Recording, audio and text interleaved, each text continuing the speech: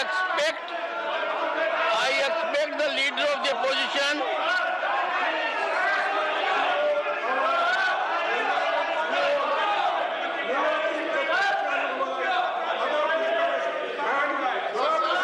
I will be constant if the house is not in order.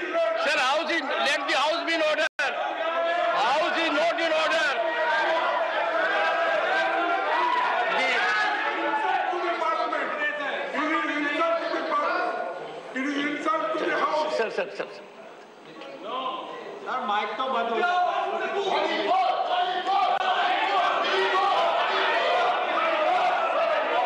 The House stands adjourned to meet on Friday, 21st July 2023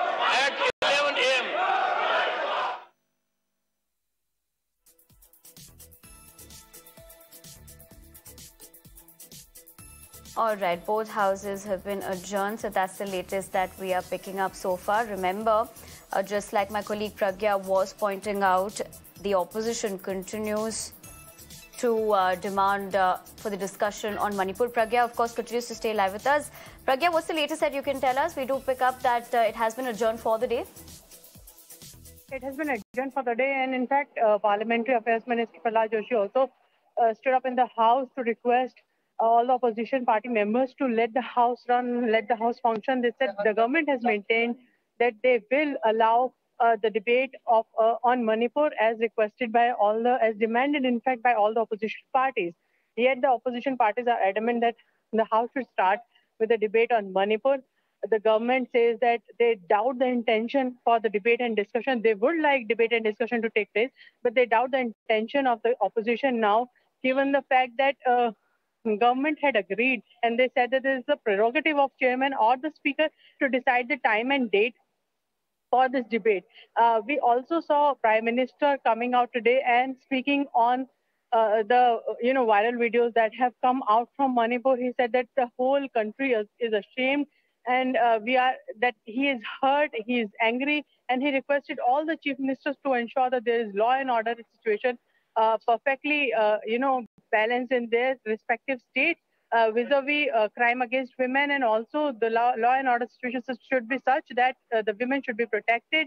Uh, uh, he said that, uh, you know, culprits will not be spared. Everyone will be involved in this incident, will be punished. This is the statement that has come from the prime minister. And also, you know, when he entered the house, he uh, greeted every opposition uh, party member. And when he went up to uh, uh, Mrs. Sonia Gandhi, he, uh, Mrs. Sonia Gandhi, uh, reportedly, you know, she expressed also this demand and also said to the prime minister that, you know, we should have a debate on Manipur, to which Pradhan Mantri nodded and agreed. This is also an incident that took place inside the house.